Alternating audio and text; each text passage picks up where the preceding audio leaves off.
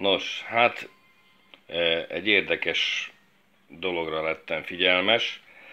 Itt van ez a jó kis műszer, ami elvileg külső-belső hőmérsékletet mér, páratartalmat, dátumot mutat, ébreszt, mindent csinál. Látszik, hogy három elem van benne, és akkor ott ugye van egy soros kötés, meg itt is egy soros kötés, és az ember azt hinni, hogy három elem kell bele. Az egyik vége ugye onnan indul, és akkor szépen megy át, és itt van úgymond a másik vége.